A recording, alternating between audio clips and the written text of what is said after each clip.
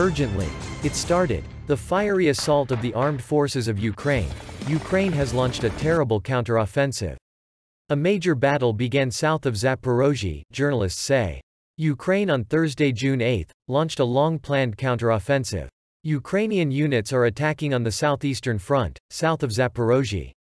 This is reported by ABC News with reference to two unnamed Ukrainian officials, including a source from the entourage of Ukrainian President Vladimir Zelensky.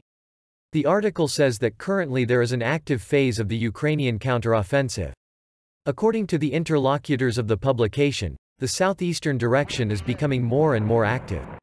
Journalists refer to unconfirmed images that may indicate the participation of German-made Leopard 2 tanks in offensive operations, which Ukraine received from Western partners.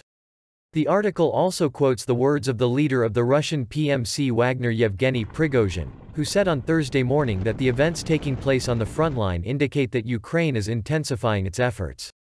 The Washington Post also writes about the beginning of the Ukrainian counteroffensive.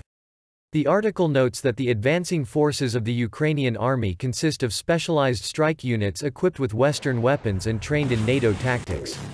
The attacks on the southeast of the country mark a significant advance into the territory occupied by Russia, the article says. Journalists note that Ukraine's goal is probably to cut the Russian-controlled land corridor to the annexed Crimea. In addition, the APU may try to regain control of Melitopol and Energodar, where the Zaporozhye NPP is located.